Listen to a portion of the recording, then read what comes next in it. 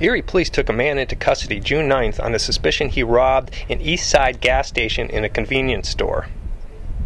Police took the man into custody after stopping his green Chevrolet Trailblazer in the 600 block of East 10th Street shortly before 9 a.m. His identity was not revealed.